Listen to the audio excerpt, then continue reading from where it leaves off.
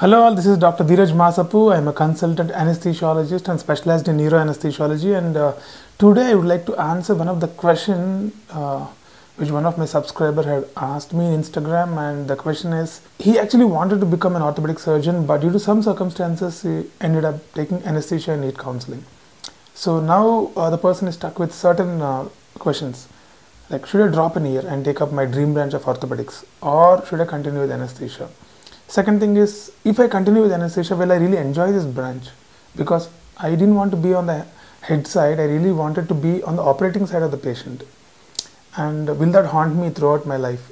And the third question is that will I earn enough with anesthesia? Because it is a uh, many of us think that or with orthopedics we make a lot of money, but with anesthesia, can I make that such kind of a money? and uh, the fourth thing is that will the society respect me okay like uh, a clinician gets a lot of respect in the society. With anesthesia can we get that? So these are the things which are running in the person's mind and these uh, questions would be haunting him. So I, what i thought is uh, this kind of situation is there for many of you who have taken anesthesia and who actually wanted to become surgeons who wanted to become radiologists and all that.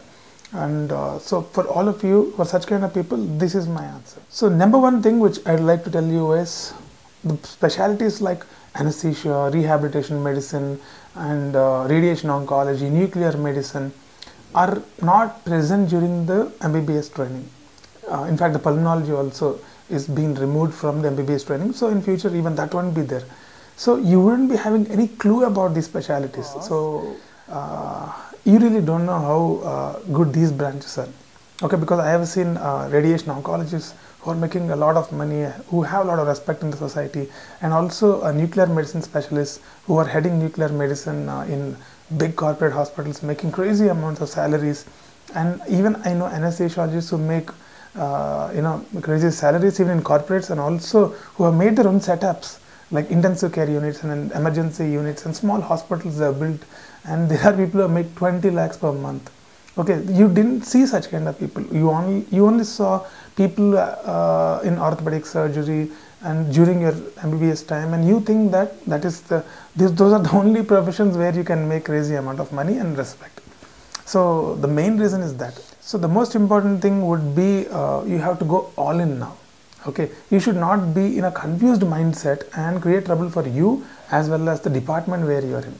Okay if you are in a kind of confused mindset you will not do justice for yourself and also for the department. So first you need to come out of it and understand that there are many specialities which are beautiful.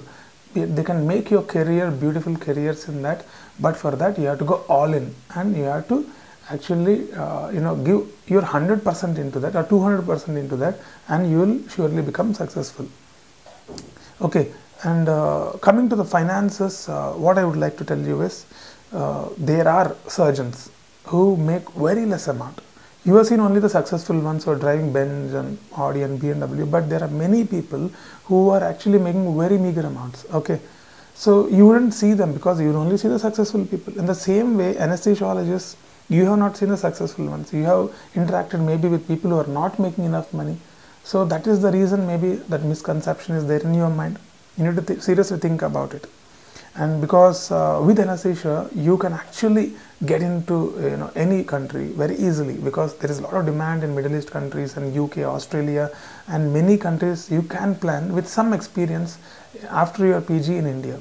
Okay. For a surgeon to go to such kind of places might become difficult for specialties which i mentioned you know all these specialties they are in a lot of demand in other countries. Okay. You need to understand that. And uh, if will i earn like a surgical specialty so because in my some of my videos previously I told that there is a ceiling in anesthesia.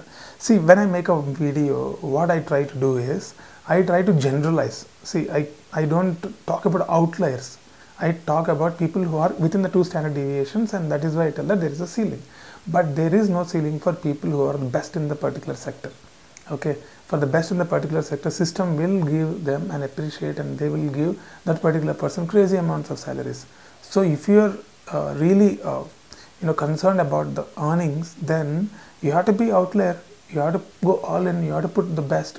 And then you can make a lot of money with anesthesia also. So then uh, about society. See society uh, or family respects you okay when you take a clinical branch okay with branches uh, like anesthesia radiology oncology and uh, you know the nuclear medicine initially they won't understand it. See when you yourself being an mbbs person don't know anything about it how can you expect a person in your family to know about it?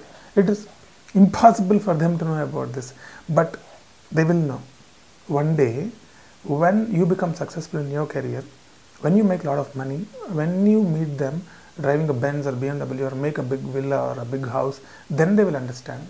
Okay it's more like a delayed gratification. You need to first invest in yourself build a career and then obviously society will know. What society will uh, see superficial things like you know money and the kind of cars you drive.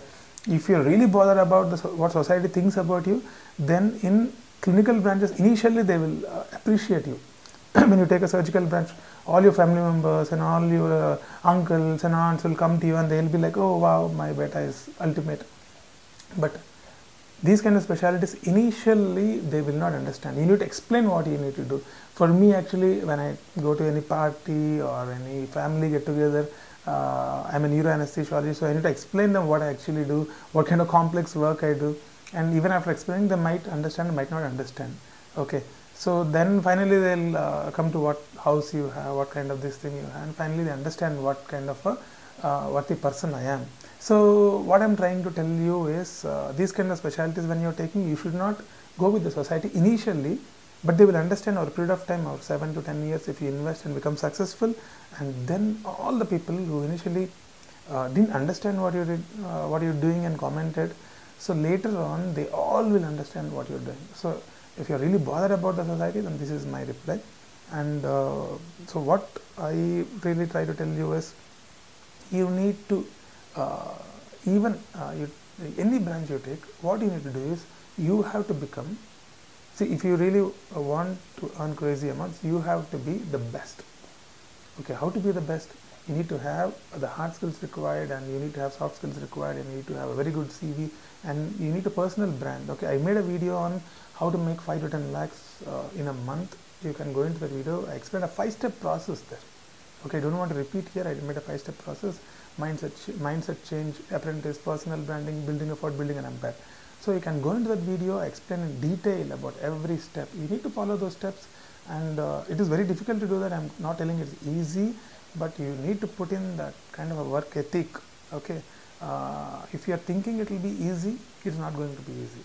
You need to put in a very hard work ethic and then if you uh, work for a significant amount of hours in a week, then you will surely become successful whatever field you take.